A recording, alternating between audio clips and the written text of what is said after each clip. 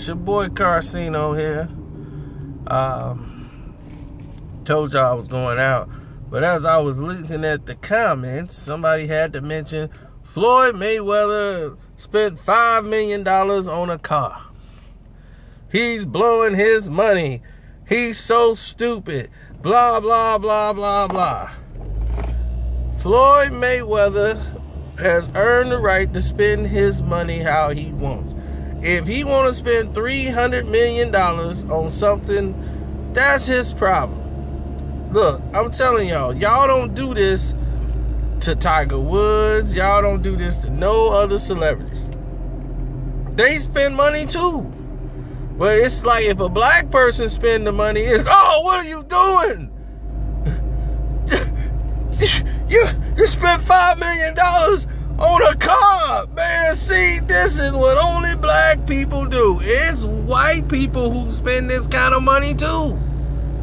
They spend $10 million on paintings, $30 million on paintings. Nobody go, God damn, that's a $30 million paint you did, white boy. What you doing? No, nobody was saying that when a white guy spend that kind of money, but when a brother spend it, we don't know what we doing. We stupid. Cause it's a countdown when you go broke. When you're black. That's people don't look at it as if, man, he's gonna make more money or he might make that back. He probably had that money put to the side for the car. That might have came off some interest stuff. He's still making money on. We don't know. To us, that's a lot of money.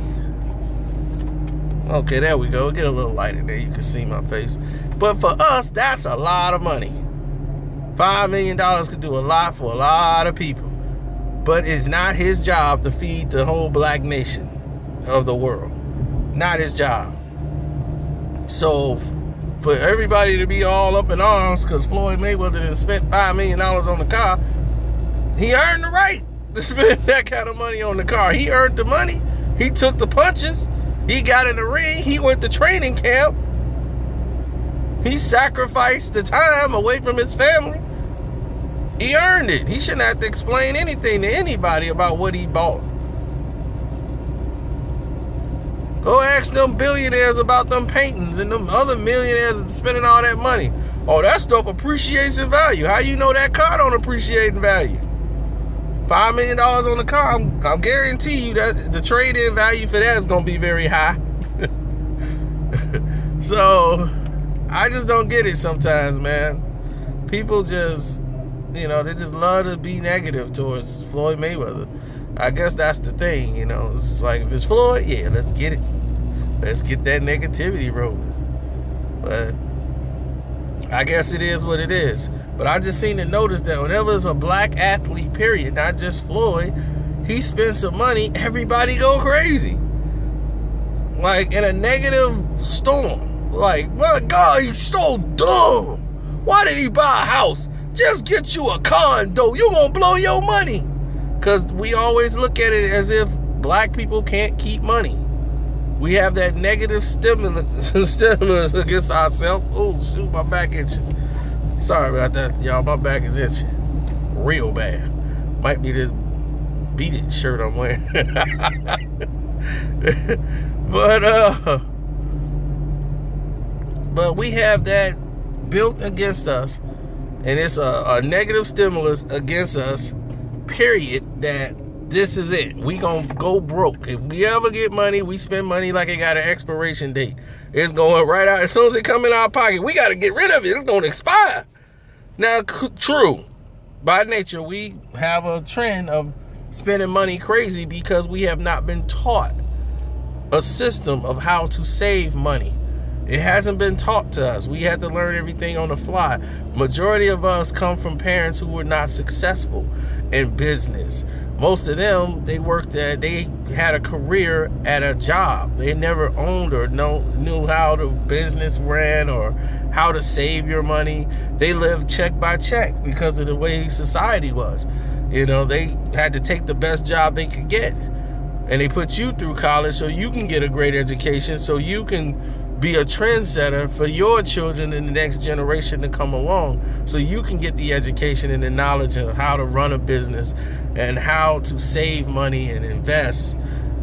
And basically um, a lot of us haven't utilized or made aware of the sacrifice a lot of parents and family members made so that they could get to that next level.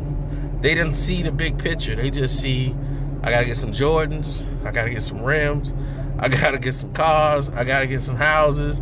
And they don't have a plan. They don't realize how important having good credit is and how it helps you establish wealth.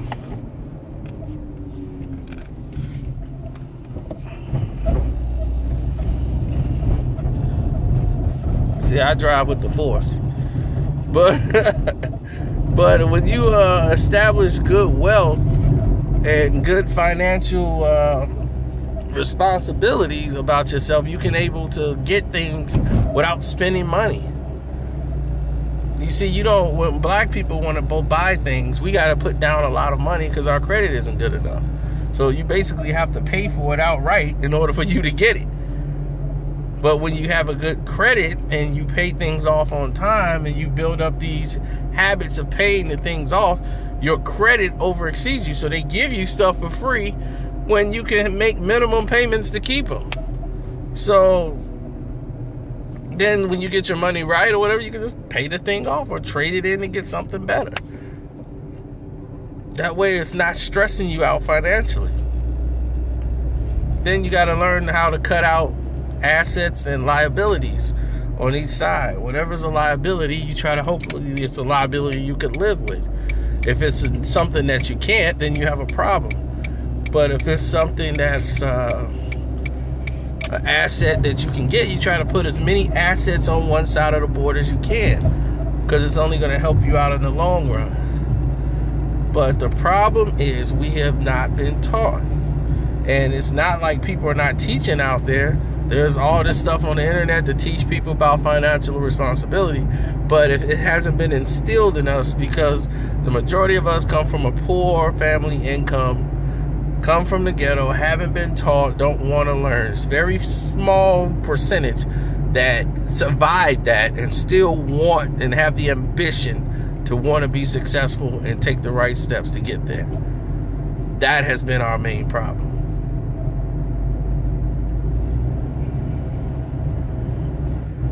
You know, I have rich friends, I have poor friends. It's just the nature of how the the world is, but the difference is not luck between the two. I've had rich friends who was born rich. Their families before them were rich.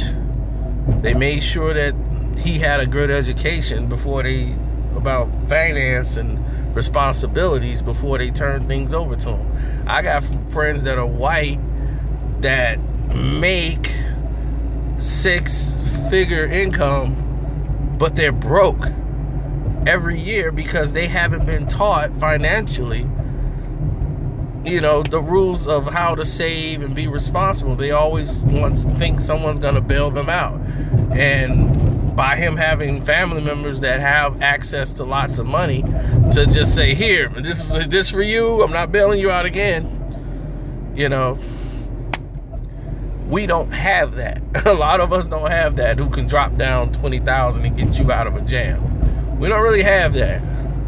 So we got to be smarter about it. Or we going to file chapter something. we just don't care about credit. Black people have never understood how to use it for their advantage. So when you tell me Floyd spent five million on a car, I say good for him. Because believe me, if he spent five million on the car, I'm quite sure he's got some investors around him to tell him what to do. But damn it, he earned it. Let him spend his money any old kind of way, because they they don't watch every dime another millionaire makes. Another athlete who spends large amounts of money, he don't even go report it. But when a black person does it, boom, there it is. Well, he put it out there himself, but y'all want to blast him for it, so there you go. Say all the negative stuff you want about Floyd. and spending five million dollars on a car. I mean, hey, it's his thing. I'm quite sure he has a business plan with a don't hurt him. So that's just that. Um, and other than that, uh, somebody was like um, the beef, the beef, uh, not the beef, but the beats that I did, the top five beats. Somebody wanted me to go down the list and do my last five, like six through ten. If I did six through ten, Number six would be Approach the Danger by NWA. Uh, number seven would probably be Beats to the Rhyme by uh, Beats the Rhyme by Run DMC. Then uh, Lil' Kim's Notorious B.I.G. Notorious uh, no Queen Bitch. That song, that beat. Boom, no, no, no, no, no. That would be uh, probably number eight. Number nine would probably be Peter Piper by Run DMC. Uh, number 10. Wow, that's tough. Tough. Uh, man, uh, off the top of my head, I would probably have to go with with the uh, the Nas beat for uh,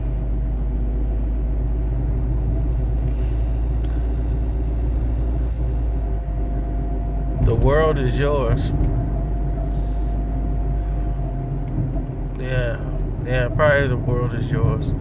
I mean, it all of it, all of this is just off the top of my head. But anyway, follow the playlist too. The truth behind the hip hop beefs, the top five in hip hop that we doing. We doing all those uh, videos there, and we got more videos coming. Uh, we do have an update from Berto's camp. Somebody was like, when I put that out there, we had no update. People started hitting me up like, dude, I got you an update. I'm gonna send you photos. So my guy's sending me photos. So allocate that soon too. All right, I'm out.